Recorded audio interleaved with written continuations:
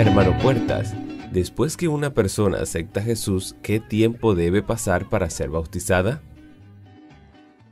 Tiene que esperar recibir la doctrina.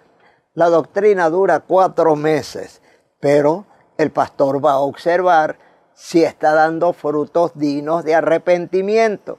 Si esa persona tiene rabo de paja, tiene deuda, no se puede bautizar. Si está viviendo en adulterio, en fornicación, no se puede bautizar. Si es chismoso, si enciende rencilla, aparte de recibir la doctrina, tiene que dar frutos dignos de arrepentimiento.